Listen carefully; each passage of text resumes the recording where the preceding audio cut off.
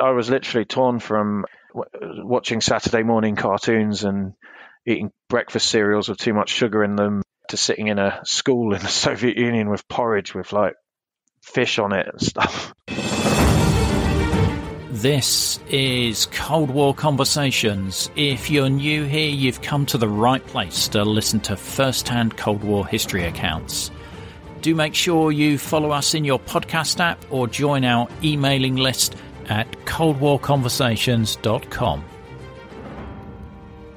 Richard was six years old when he was uprooted from a school in the United States to a Soviet school 700 miles east of Moscow.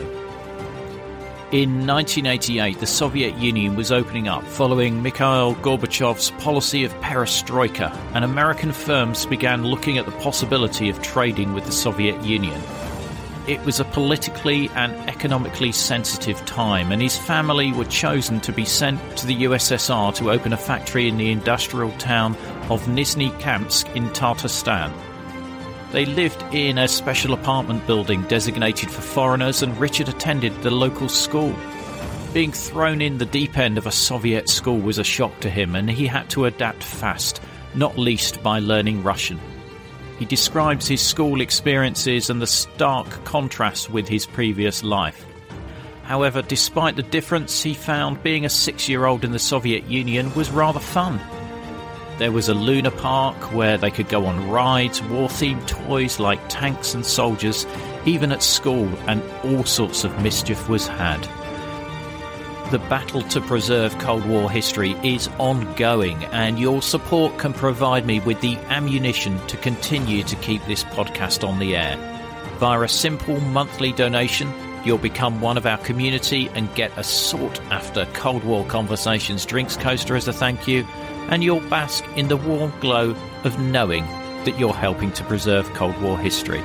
Just go to coldwarconversations.com slash donate. If a monthly contribution is not your cup of tea, we also welcome one-off donations via coldwarconversations.com slash donate. I'm delighted to welcome Richard to our Cold War conversation. I was born in, in Hertfordshire, uh, just north of London, about half an hour north. Um, and uh, my parents are from Stevenage. And so my father worked for an American firm, uh, an engineering company that had a factory just at the end of his mother's garden. So he would climb over the fence to uh, to get to work. I think that's what attracted him to the place in the first place. Um, but you know, from going climbing over the fence, uh, this brought us all over the world, and uh, we ended up in the Soviet Union and during the time of uh, perestroika. Was your mother working at the time as well? Um, no, not at the time. She she, she had me quite young, and um, uh, she was a stay-at-home mum. So the the factory that your dad worked for, what what were they making? What was their business? Right, so it's it's an American firm. It was it was called Taylor Instruments, and they made um, all kinds of oh things like water pressure meters or control systems for chemical plants, um, industrial engineering uh, stuff. And my dad, uh, who's kind of an engineer by background, became a, a salesman uh, for that firm. We as a family were invited to come over to Rochester in upstate New York so when I was quite young, uh, we moved to to uh, to Rochester in New York, and uh, we have good memories of it. And in 1986, uh, my sister was born in America. My dad traveled around the world quite a bit on business, uh, selling stuff. A lot of a lot of times in South Korea, for example. I remember it then. As the 80s got on and as the situation changed, there became this opportunity to to uh, commence a joint venture with the Soviet Finance Ministry, and my dad was uh, kind of ideally suited for it because he already had quite a lot of international experience going to unusual parts of the world, dealing with industrial components and so on.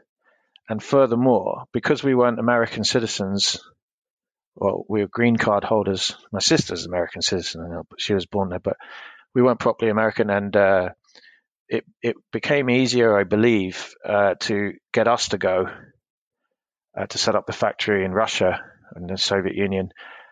My, my dad had Russian lessons. Um, my parents were kind of briefed for what it all was all about. And eventually, I, I think it was 1988, uh, we found ourselves in a an industrial city called Nizhnekamsk, which is in a Tatar autonomous republic. It's now Tatarstan. It's part of Russia, but it's a region of Russia. A lot of ethnic Tatars there, about half the population. Um, and then basically Nizhnekamsk was set up in the 1960s, and the whole point of this town was this vast petrochemical works in the center of the town. And I believe it's still the largest producer of synthetic rubbers and plastics and things like that in in in, in Russia. And um, the job of uh, my dad's factory was to build control systems, very much like the ones that were used in uh, from produced in the American factory, and produced the same sorts of things uh, in Nizhnekamsk for the purpose of using it there. So it was a very ambitious project. It was a lot of um, goodwill behind it. It was seen as real breaking new ground. There was a lot of positivity. I remember uh, everyone was given badges that had like the American flag crossed with the Soviet flag. Yeah, it was the first joint venture between the US and the Soviet Union.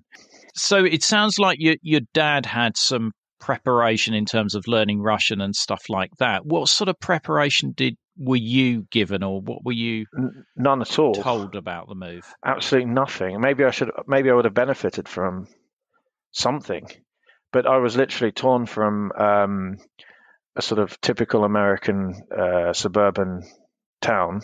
It wasn't even in Rochester proper. It was like it was a place just outside. A very pleasant place, by the way. Um, and uh, yeah, basically one morning watching Saturday morning cartoons and eating breakfast cereals with too much sugar in them and uh, that sort of thing. Going to McDonald's and having Happy Meals to uh, to sitting in a school in the Soviet Union with porridge with like fish on it and stuff. wow, and I've had a look at Nizhnekamsk on Google Earth, and it is. I mean, it's about 700 miles east of Moscow. I mean, it, it is deep into what was then the Soviet Union. Oh yeah, yeah. If my dad said at the time we're in the middle of nowhere, uh, it really felt it really felt isolated. And you can see the petrochemical plant on uh, Google Earth quite clearly. It it does look like it's in the middle of nowhere. How did you get there? Because I can't see any rail lines or anything from what I can see, or maybe there are. So, as I recall, we were going back to uh, the UK often enough, and as I recall, you could fly between London and Moscow uh, on BA, I think even. I don't, I don't really remember Aeroflot. Anyway, we flew into Moscow first, and sometimes we would have a quick look round in Moscow, and then there would be an internal flight, obviously, on Aeroflot from Moscow to Nizhny Nizhnekamsk. Um, um, to this day, there's a there's a there's a airport in Nizhnekamsk because I remember passing through Istanbul recently and seeing on a departures board a flight to. I thought that was unusual. But my dad said that I don't really remember this because Aeroflot flights were completely different from the Western airlines I was using. The the Aeroflot flight, when it was approaching Nizhnekamsk, they would ask you to put all the shutters down on the windows because they didn't want you to see everything because it was like a strategic uh, place and it would sort of nosedive straight into the uh, into the airport. That's what my dad said about it. But the Aeroflights, Aeroflot flights were distinctly different. I, rem- I remember that. Like there was no kind of um, Coca Colas or anything. It was like carbonated water or still water or nothing, something like that. Can you remember that first day when you arrive in Nizhnekamsk? I don't really remember it very well. We would have we would have arrived at a place that my dad had already kind of set up a bit. Yeah, but you were six years old at this point. Yeah, so as I recall, I was five or six. It would have been 1988. Yeah. And what was Nizhnekamsk, the the town, like? What what did it have to uh, to offer if I was to take that flight from Istanbul to there? What would you recommend me to go and see? Well, that, that it's, it's, probably got more going on now. In particular, the the Tatar uh, ethnic group are able to express themselves more. I understand there's mosques and things. I don't remember anything like that when I was there. but if you wanted to see an example of a sort of 1960s planned Soviet community, uh, this would be it. I mean, it had all of the sort of, um, it was all designed from scratch with nothing there previously. And it was designed to be in the, you know, highest form of sort of Soviet utopianism in terms of the, the layout and the facilities and, and, and that sort of thing. M- big murals on the sides of the buildings, uh, Palace of Youth, um, lots of sports stuff. Um, reasonably well equipped, I, I, imagine, by the standards of the time, but I, I, I, don't have anything to compare it to. Where were you living? Were you in a an apartment block of some sort? Yeah, so from the outside, it looked like a typical apartment building that you might find anywhere, but there were other British people there to our surprise. So there was a construction company uh, that uh, sent skilled workers uh, to the Soviet Union. They had nothing to do with our family, but they were they happened to also be British. The fact that we were British is a coincidence because actually we were there representing Americans. Yeah, we were nominally Americans, although not obviously not really. Um, the others there were were were also British, um, and they all everyone else worked for the same firm. So basically, all foreigners were housed in this one building, right? At the top floor of this building, one of the empty flats was sort of converted into a social club or like a bar. And uh, that would be where everyone met, and hung out with each other, and things like that, because the town didn't really provide the same opportunities. And I, I, I imagine, uh, I imagine they didn't really want like a load of British guys hanging around the town too much. But I don't know. Were there other children, other British children? There, there were, but uh, as I recall, my sister and I were the only ones who attended local school, or in my sister's case, it's called sadik. It's like the um, kindergarten, because she would have been like two or three years old. We were the only ones. The I don't know what I don't know what kind of alternatives the other kids had. As as I recall, they were all quite young anyway. Uh, they wouldn't have been old enough to go into school that I went to, but I think my sister was the only one who, because she she attended the local kindergarten, um, and has her own stories probably. But the the uh, yeah, uh, we we integrate we definitely integrated much more than the others did. About clothing, you, there were clothes shops, I'm presuming as well. We we um, mainly brought our own. Uh, I can't remember much apart from the school uniform of wearing local clothes, to be honest. It certainly taught us to probably habits that I still carry on today. It's like try and keep things a little minimal, try and not to overspend on on on things. At least I try not to. Don't always succeed. Uh, aspire to, let's say. Um, I do think that most Western people have too much stuff, and I've always strived to keep it under control or minimal. Uh, those are things that I've brought away from there. At the time, it, yes, you weren't. There were uh, privations and stuff, but no one was starving, and it was just a bit more basic. That was all. Mm. And did during those two years, did you travel back to the UK at all, or were you there for? Yeah, during school holidays and things, uh, often enough. I think for Christmas as well. Yeah, uh, often enough. It wasn't as hard as you might imagine to to go from Hertfordshire to Nizhnekamsk. There were there were there were not directly, but there were there were ways to do it. Yeah, just the the culture shock between going to and from, and I guess you know if if you've got mates there, you yeah, as a young kid, it's just the way it is. You don't know that this is a bit odd. Well, you know, in those days, I'll tell you something. In those days, when you went to a different country, regardless of it, what side of the Iron Curtain it was on, it felt like you were going to a different country. I remember going to Spain when I in the 1980s. It's a totally different place where I went. Where if you go there now, like in in the South, Costa del Sol, there's a town called Nerja, right? And there'd be um, sort of dry rolling hills with olive groves and things on, and shepherds leading goats around. And if you go there now, it's all just villas and holiday things. It's all we're all much more uh, homogenized now. So um, because we were traveling a lot anyway, um, I think um, it's easy to forget like going to a different country really even closer to Britain felt much more different than traveling around these days. So in that sense, America is totally different from the UK. UK is totally different from Spain. Um, Russia's again different. You know, it, it was more like that actually. Yeah. I mean, could you make phone calls from there to the UK? I guess they must have been able to contact the head office or something.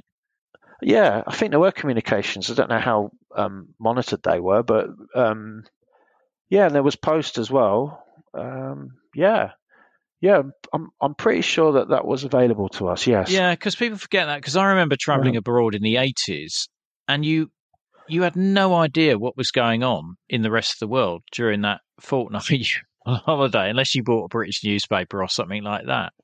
And yeah. You, you know, you didn't have internet. You didn't have. You couldn't access international TV channels in your hotel or or anything like that. It was it was quite nice actually because you just escaped completely. Yeah, it was like that. Um, a strange habit I think was sometimes my um, somebody would record like uh, some BBC news, and then the video would get passed out. It might be a couple of weeks old. yeah, so newspapers and things. So um, yeah, in that sense, we were out of touch a bit. Um, but I don't feel like it was completely isolated. We weren't on a desert, desert island or something. Did you have access to Western goods there, or did you have to buy uh, Soviet food and drink? So I mentioned there was a bar on the top of top floor of our building. Um, the the other British guys every six months, a lorry used to come from West Germany, I think, carrying mostly beer for the bar, right? But uh, it did have some other Western goods, um, toilet paper, some Coca Cola, but very limited amounts of Western things. For sure, we had some, uh, but uh, certainly in our case, the vast majority of our consumerism came from within the local things. Um, there was a hard currency shop. You're probably aware that all over uh, communist Eastern Europe, there was um, hard currency shops, and our block had one that was open. I don't know Wednesday afternoons or something like that, where you could pay for things in hard currency. But I don't think we used it very often because the prices were like so inflated. You know, you could buy a Kinder egg or something. So, in answer to your question, yes, we had some Western goods, certainly a lot more than anyone else would have locally, but uh, by no means um, did it represent a significant difference to the lifestyle. did your dad give you like pocket money in rubles to uh, he did. spend? Um, even better. Um, the ruble was officially pegged at one to the dollar or two to the dollar. I can't remember but it was it, officially it was it had a certain rate um, unofficially of course they were more or less worthless so in our flat there was a drawer absolutely full of rubles and my mum and dad said because I seem to remember actually I'd go out on my own um, with my friends and things. But she said, if you see anything, feel free to buy it. So it was like you can imagine that, uh, but but it didn't have um, it. There wasn't really much to buy, and he kind of forgot that they were there. Um, there was a Luna Park where they had um, rides like you know, you, you can imagine a, a, Ferris wheel and some bumper cars and things or whatever like that. Um, and I remember there was an old vintage Aeroflot plane that you could kind of almost climb on. Um, and the the rides were there, and you, you could, but it was like twenty kopecks to go on a ride. So peanuts, less than peanuts. Yeah, yeah. Um, the only other things that I used to like spend my pocket money on is there was a green fizzy drink called uh, Tarhun, I think it's called, or Targon, and it's flavored with the herb tarragon, right? And any uh, anyone who spent time in this part of the world might recognize it. It's sort of bright green, looks really artificially green, but fizzy. It's got quite a pleasant herbal taste to it, and that was my favorite soft drink. I used to quite like uh, uh sunflower seeds, which is quite a cliche. Um, toy cars, uh, I used to buy a lot of toy cars. There were there was a toy shop. It's very hit and miss what you'd find in there. I want to ask you about your your time in the school because that must have been an incredible contrast to your time in in the US. What can you remember that first day at school? Well, I do remember my parents taking me to meet the headmistress, and she presented me with a toy gun, which I thought was great, but my parents were a bit uh, bemused by. Um, it just happened to be a regular toy. In at the time, war toys and anything to do with like war was just standard like stuff. So um, I don't exactly remember the first day, but I do remember being surprised by this uh, topics that were constantly coming out. Like, imagine a maths lesson, yeah, like basic uh, arithmetic or something. The examples might be tanks and bombs rather than in the capitalist world, it might be go, you go shopping and buy stuff. It was I do remember things like that, and the textbooks. I remember the paper, of the feel of them, and the illustrations of young pioneers and the posters on the wall of Lenin and other things. But I guess I was too young to take in the ideology or the propaganda or whatever the imagery uh, too much. But I certainly I certainly remember it being quite quite aesthetically different uh, from what I was used to. Um, my memory of the school is it, the overwhelming feeling was of confusion because I didn't really speak Russian at first, although I did begin to learn it. The, I had no idea what was going on. The days went on and on and on where I was just sort of sitting there with an exercise book and a pen, basically drawing little pictures or something. So pretty hard, uh, pretty hard time. I w- I wasn't a great fan of the going to school. Other memories of the school were um, the uniforms, which you might see in the photos uh, which I've sent you. Uh, there's a, the, the, they were quite um, quite smart looking, uh, almost like Air Force jackets, I guess, with patches on them. And there was a little Lenin badge where Lenin looked like a little boy uh, within a star. Um, I remember the uniforms. The school looked all right. Uh, the, I mean, physically it looked fine. It had a dentist in it. That was uh, so every now and again, you'd have to go and get your teeth checked. Um, what else? the the canteen. I didn't like the food at all, but I have an abiding memory and a great love of the bread. The bread had tremendously good flavour, and the, particularly I liked having a crust. And the uh, tea, the, there would be gl- glasses of very strong tea, uh, which I don't know if that's appropriate nowadays to give to a six year old, but I loved it. And the tea was really great flavor without milk or anything, just strong black tea, but delicious. So that and the bread, um, which sounds sounds austere, but I quite, I quite liked it at the time. Um, the sports facilities were incredibly big and advanced. There was a large gymnastics hall and it had climbing ropes, trampolines, foam pits, um, every kind of thing like basketball or whatever, football. Really, um, it looked good in, from my memory, and it was it was pretty top of the range. Um, I think any British high, uh, school would be proud of this facility. You know, the Soviets always were trying to develop children into being sporty, weren't they? So that that would I can see how that would work. Um, and I, I'm not a sporty person by inclination, but I did enjoy these sessions in this big gymnasium hall. How did your schoolmates react to your arrival in the class? We'll be back after a quick break. The fight to preserve Cold War history continues, and via a simple monthly donation, you'll give me the ammunition to continue to preserve these incredible first hand accounts. You'll become part of our community, you'll get the sought after Cold War Conversations drinks coaster as a thank you, and you'll bask in the warm glow of knowing that you're helping to preserve Cold War history just go to coldwarconversations.com or go to the link in the episode information. Uh, a lot of curiosity, and most were welcoming and very nice to me. Yeah, they were friendly and positive, although um, in the playground, um, some of the boys were not so nice everyone used to shout Americanics at me, shout, thinking I was American, and that used to bother me as a young boy because they didn't know that I wasn't really American. Um, and some some older boys would like push me around or even trip me over and things like that. And one day I told my dad, and he said, if anyone ever hits you, you have to hit them back.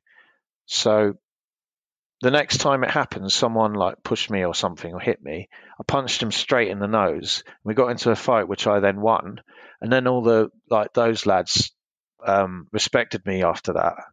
So I was a lot sort of included more with them.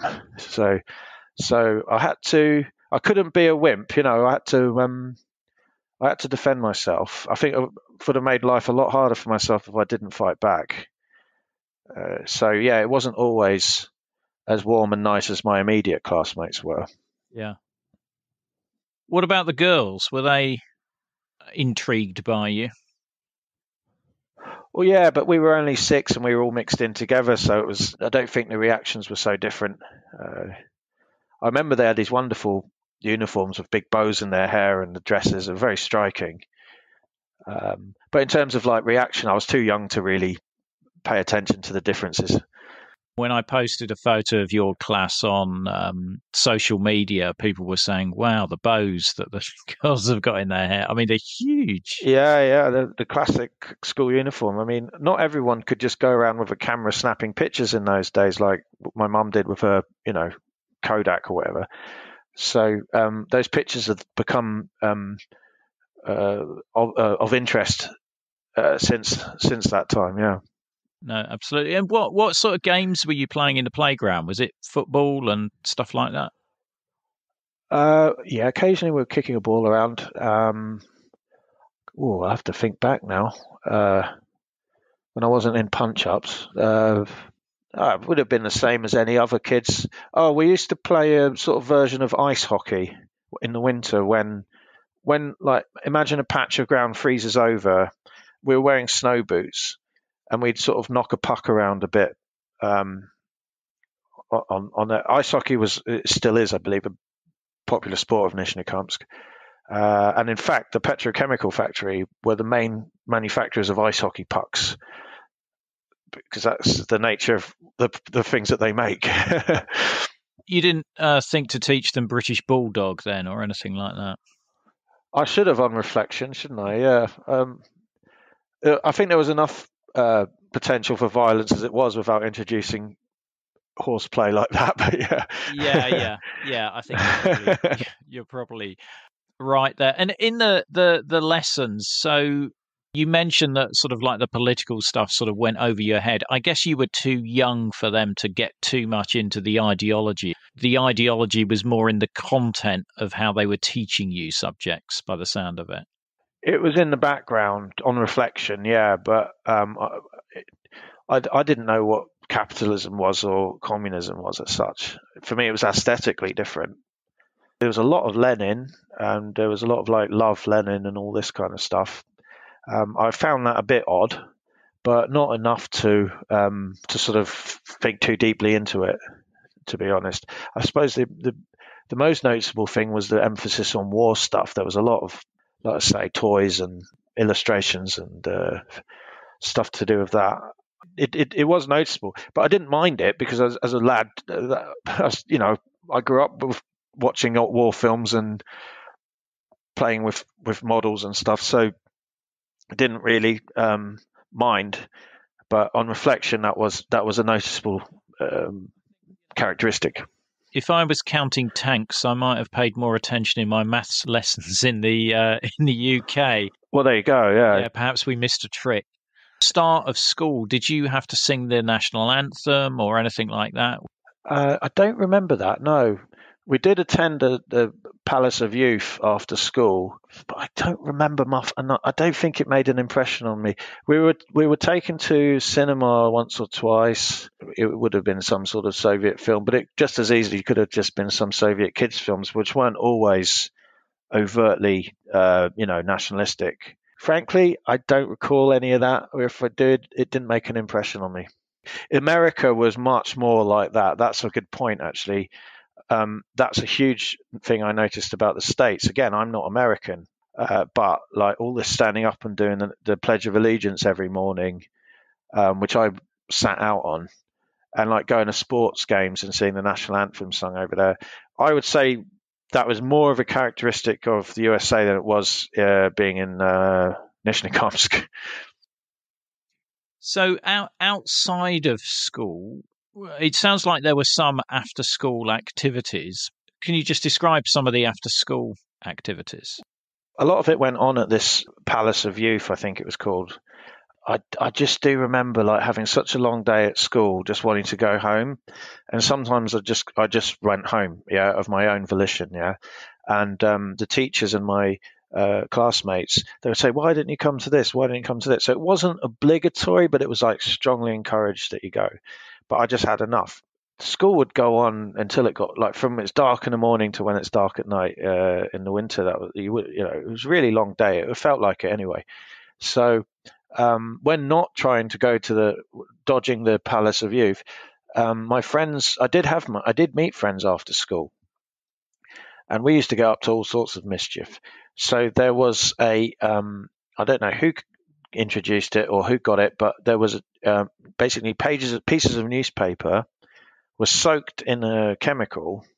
Once that dried, you would wrap it in some foil and you would light the end and it would go up into the sky like a rocket, like a like a small firework. Looking back on it, it's amazing no one blew their hands off. You know, this is us messing around with chemicals. It must have been some kind of fertilizer like uh, saltpeter or something like that, or ammonium. I don't know enough about chemistry, but I can only imagine it was some sort of fertilizer chemical. But I currently live in Poland, and I asked my Polish father-in-law about this, and he said they used to do it here as well. So, um, if I wonder if any of any of your listeners ever lived in Eastern Europe ever encountered this, but yeah, that was a game we stupidly used to play. Um, where there was a lot of things like snowball fights and building bases, and uh, I wasn't strictly speaking supposed to bring other lads home by order of the building management. So, as I explained, we lived in a building specially for foreigners. Um, and at the reception, there were these uh, ladies who kind of monitored who was coming in and out. They could well have been KGB, who knows? Um, but uh, I used to smuggle a couple of my mates in, and as long as I could get them in, my mum would uh, welcome them and look and host them. Yeah. So one tactic we had was like my winter coat was uh, from America, so it was quite colourful, almost like a shell suit jacket, and um, they wore sort of plain coloured ones, and we would just swap our clothes around so that the uh, receptionist couldn't couldn't uh, know who was coming in. Or they may have turned a blind eye. But once I got them in, my mother used to bake them cookies, and we'd watch Tom and Jerry videos because uh, we had a television and a video machine, but you know, I guess I guess Soviet TV was of limited interest to our family, so we had quite a large collection of videos, and so so did other people in the in the building. So it's like basically it was a big library. Um, and there were children's videos. Tom and Jerry was their favorite, and if you recall, Tom and Jerry doesn't really have any dialogue. Yeah, it's just the animals running around. So um, that was the one that used to get put on, and my mum would make them sandwiches and biscuits and stuff. So yeah, they, yeah, that was that was after school uh, for the most part. How long did it take you to learn sufficient Russian to be able to communicate effectively? Well, I don't remember when when I became able to communicate in Russian from when not being able to, but I knew I was able to one day when my mum took me out to the market to buy some vegetables or something, and she was trying to uh, understand the price. And then I just sort of stepped in and uh, acted as the interpreter. And I thought, oh, I can speak Russian now. That was the moment of realization. Yeah, because you know we used to go shopping, and there was like some limited free market, like uh, smallholders were allowed to trade in a market hall, uh, but it was mostly like seasonal vegetables, um, you know, in the supermarkets there was a lot of birch syrup. Um, uh, I don't. we were consuming local goods. Bread was always good. The one thing they did really well was the bread. Um, and uh, yeah, I used to go out shopping with my mum. And uh, speak Russian. I don't I don't remember when the moment came when it was like black and white, but that was it, it happened quickly. Children learn fast. You, you're at school during the day, so you've got you know you're you're more occupied. But how how did your mother, for example, deal with her time? Uh, she she struggled, yeah, because um, uh, there were other mums in the building, but there wasn't a hell of a lot for her to do. Uh, apart from you know, she had my sister and me. My dad was away a lot working, so there was just uh, the other mums in the building, I think, and um, I guess she was trying to um, figure out what to cook with this, with whatever ingredients was at hand. Austere, I think it was for my mum, because you know my dad had his social life with the guys um, and his handlers and whatever, but um, I think she had the worst time out of it. Yeah, I mean, did they did this block have a library as well, or books, or anything like that? Not no, not formally. Informally, of course, everyone uh, swapped stuff. Um, yeah, like people wrote their names on videos and things, uh, but um, not not exactly. No, there was a small community, it, not too organised though. How about at, at weekends? Did you travel to any other towns or, or any other locations sometimes? As I recall, we didn't really travel far. Uh, sometimes we'd go on a day trip um, to like maybe a lake and have a swim, or some beautiful forest, or the scenery was could be quite nice. Um, my father had a black Volga car, which stood out because normally the only people who drive black Volga cars are like party nomenklatura or um, senior people or, or KGB or something like that. So um, when he was driving around, people sort of notice and pay attention to it. Um, he also had a motorcycle and sidecar, uh, which was based on this World War II German design, uh, but they made them in Russia afterwards. And so we had fun, like going on little drives uh, around. Also, sometimes you might hear a rumor that in a nearby place something was available. So we'd go drive out and have a look, um, mainly just to check, like for the sake of it, as much as anything else. But yeah, we used to go on little day trips. Um, all the banya. Uh, so my dad and his friends used to go to this bathhouse or banya, um, and I, I, I even got taken there a few times. And they would sort of sit around and eat and drink and uh, in the winter roll around in the snow, which is quite a spectacle. So uh, that was another activity the guys used to do. But then again, not much for the ladies, or not much for my mum anyway. So this was like a sauna, the banya, yeah. Yeah, Russian style, which is, is quite sociable and um, uh, yeah, very, very much typical of Russian culture. When you were out with your your Soviet school friends, I mean, you said you got up to mischief there must be more mischief than what you're letting on here. Oh, be trying to get into places we weren't meant to be getting into, and uh, oh goodness knows what else. It just uh, oh, just a bunch of lads roaming around, but we were very young. I think the explosive newspaper was probably the worst. And your parents were comfortable with you just roaming as long as you were back at a certain time, I guess. Looking back at the fair amount of freedom, I guess it was apart from any trouble we got in ourselves, it was relatively safe.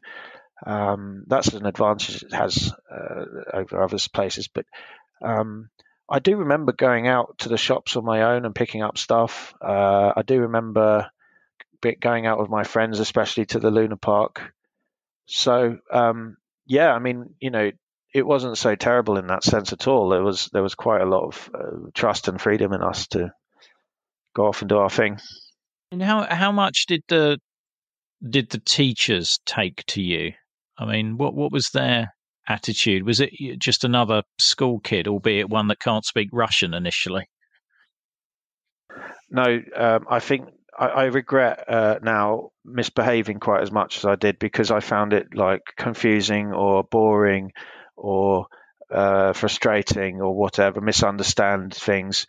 Um, because I think my teacher did have a hard time with me, um, and she didn't quite know what to do with me. And I also think she felt under pressure because she was told, "Look, you're getting this kid here who's you know representing an American father's factory or whatever. Um, make sure he's settled in." So I think I think she she must have been stressed by the whole thing, let alone with my belligerence or whatever. With the, I wasn't a very, I've never been a very scholarly kid. I've never fit in very well with schools, let alone the Soviet one. Yeah, I do regret, I do regret giving her a hard time. I guess a lot of extremes of temperature there between winter and summer. Oh, for sure. It's very much four seasons uh, place, um, and the food would reflect that. They eat very seasonally, as we do here in Poland. By the way, I mean, we, you know, we we eat um, fresh asparagus or uh, young cabbage and well, whatever's going on in the right season. Same story there. Um, so you could only get tomatoes sometimes. Yeah, uh, the minus temperatures got pretty low, and I had a big furry ushanka as did everyone else. And uh, yeah, in the summer it would be the opposite, scorching hot. Although I think we normally left during the summer holidays to go back to England. Very much a Four Seasons place, yeah. When you think back to that time there, have you got a particular fondest memory or or something that you you found particularly enjoyable? I I liked I liked the aesthetics of it. I like tall buildings now, and I like the.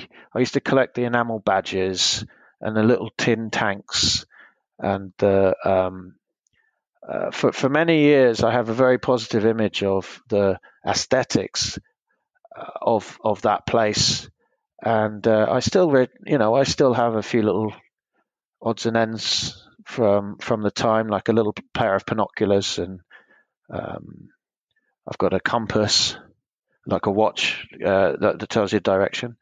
And um, yeah, just fond memories. It's hard to pick a, fix, pick a fix one, but overall, uh, I have a positive impression of my time there. Although you know we were in a privileged position, but uh, so I understand that it wasn't typical for everyone. But uh, in terms of what I saw and the people I met, um, it was it was it was good. And you know, when it came to uh, leaving, it was quite sudden, and I uh, we, we we went back to the US, um, and uh, for a while I missed it actually. Why why uh, did you leave? You know, what what was the reason for uh, leaving in the end? Well, it was partly to do with my dad's employer. Um, they got bought by a, another company, and he didn't like the new management. Uh, he didn't like the new. I don't know the details, but he didn't like the corporate culture at all. And furthermore, um, he became suspicious that the management of the factory were not entirely being honest. He didn't feel like everything was being fully done legitimately. So he combination of reasons. I guess my mother was also very fed up with it um, we left uh, back to Rochester, New York. Wow, that must have been a hell of a story to tell your schoolmates when you uh, got back to Rochester. Well, they, well, they didn't believe me. They didn't believe me. No, they thought I was making it up. Um, when I said I'd been living in the Soviet Union, it's about 1990 by this point. Yeah, so I, I think I soon adapted back to life in the states because that's a. I mean, that part of that era was a lovely time, and it was a lovely place where we were in upstate New York. Um, shopping, of course, came back. So I strongly believe there's pros and cons to both places in our lives, you know, and uh, I, I, I feel I benefited from both living in the Soviet Union and living in the USA, and not many British kids have the opportunity to compare them. Yeah, I mean, an incredible experience. You're also away in the depths of Russia. You know, you are a long way away from the main urban centers. And so you're experiencing a life and a lifestyle, albeit you've got some privileges there that very few people from the UK or even the US would have experienced. Yeah, now it sounds totally desolate in the middle of nowhere, yeah. Um, but there were many positive and good things about that town not least, I mentioned um, the sports facilities and the, the, the school in general. I think a lot of Western schools would would like would love to have this uh, uh, facilities that they had, and the, the education was, um, as I understand from, um, from uh, talking to people later, that it was it was technically good. Like the the people became qualified and uh, they got some good they got some good skills and become highly professionals. Not only in Russia, a lot of them emigrated. So um, the schooling was good. Uh, the sense of friendliness and safety of the community was good. Uh, the, um, you didn't see uh, unemployed people or homeless people, right? Although, of course, we lived in flats, but when I walk around London today and I see like rows of tents in the streets and all sorts of social problems, um, I'm not saying they had all the perfect answers, but they certainly didn't have the same kinds of problems as as as, as modern Western cities have. I'm not naive, uh, and I and I think that you know it had its own flaws, but um, I don't think it's everything's black and white. Are you in contact with any of your uh, old schoolmates? Yes. Um, so um, I through Facebook, uh, I posted um, a picture on one of these kind of Soviet nostalgia groups, and uh, uh, someone got one of my uh, classmates got in touch, and we had a lovely conversation. He now lives in South Korea. Obviously, speaks good English now, and we, we, we we've had a lovely old uh, chat and catch up. And I asked him many questions about my time there, and um, he put me in touch uh, with other classmates that you might see in the photos not all of them can speak uh, English. Some of them can, but I've had my Russian is almost all but gone. Um, so uh, we have to communicate using like Google Translate. Uh, but yeah, I'm still in touch with them, and they've all got quite varied lives. You know, they all do different things now and in different countries. So yeah, you say you know you think of Nizhny as this m- middle of nowhere place, but it did seem to it did seem to produce some quite talented people, at least. Well, I do recommend people just look up uh, Camps on uh, Google Maps because you can take a little bit of a tour and you can see this architecture, this 60s architecture. It looks like almost like a little bit of a time capsule from, uh, you know, when when you were there. Yeah, I, am sure that I'm sure that the locals would, would love to highlight how many modernizations they've been since then. Don't miss the episode extras such as videos, photos, and other content. Just look for the link in the podcast information. The podcast wouldn't exist without the generous support of our financial supporters, and I'd like to thank one and all of them for keeping the podcast on the road. If you'd like to help the project, just go to coldwarconversations.com slash donate. The Cold War conversation continues in our Facebook discussion group. Just search for Cold War Conversations in Facebook.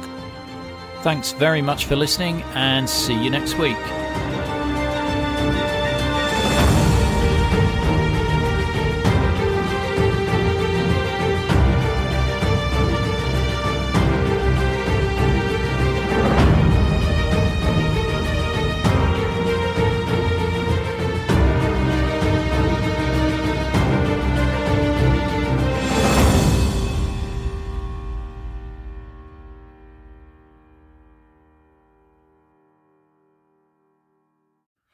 Thanks for listening right through to the end. I really appreciate it. And maybe check out our store and see if you can find the ideal gift for the Cold War enthusiast in your life. Just go to coldwarconversations.com slash store. Thanks for listening.